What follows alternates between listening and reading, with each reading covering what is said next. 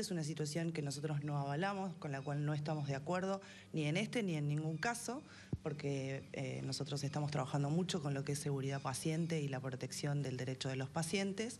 Así que eh, toda la dirección ha comunicado esto a sede central, tanto a lo que es Dirección Provincial de Hospitales como a la dirección de, capacitación, que es de la cual dependen los residentes, y vamos a hacer todo lo que sea necesario, así sea aplicar sanciones disciplinarias para que esto no vuelva a suceder. ¿Ella estaba supervisada por médicos en ese momento? Por supuesto, los residentes nunca están solos trabajando, siempre están supervisados por un equipo de médicos de planta y residentes superiores, y además había... Eh, otros profesionales de, otras especialidades que participan de una cesárea. Doctora, se cuestionó también que le arrojaran un líquido que no se sabe de qué se trata en la cabeza la. Es solución fisiológica, es estéril, no hay ningún riesgo de contaminación para la paciente, o sea, nunca se puso en riesgo la salud ni de la paciente mamá ni del paciente bebé que estaban haciendo, de hecho ambos están bien, están de alta.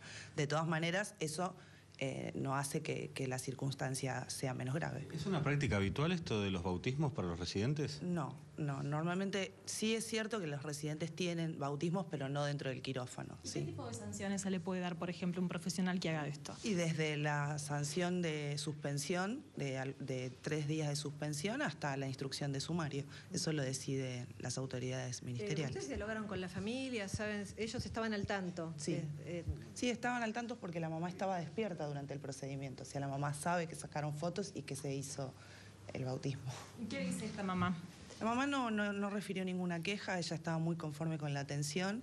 Eh, yo no pude hablar con ella porque estaba de alta, les transmito lo que me transmite la gente del equipo médico que la atendió.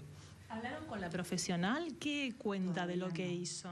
Yo todavía no. Han hablado sus superiores inmediatos, su instructor de residente, eh, la jefa de servicio y el, comité de docencia. ¿Y el resto de los profesionales que estaban en quirófano ese día? Lo mismo. Tengo que. No me dio tiempo, chicos. Acabo de llegar y, bueno, eh, los tenía que recibir para. ¿Son pasibles de sanciones también? Sí todos son pasibles de sanción. ¿Sabe? Eh, lo que se duda o, se cuestionó tal vez es, la posibilidad, si existiera, de que se pusiera en riesgo la salud de los pacientes.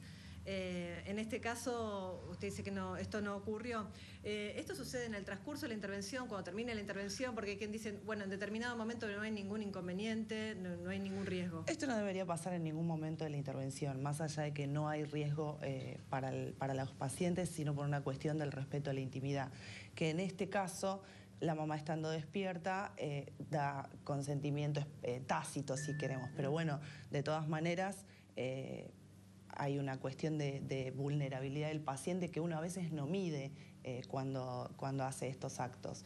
Eh,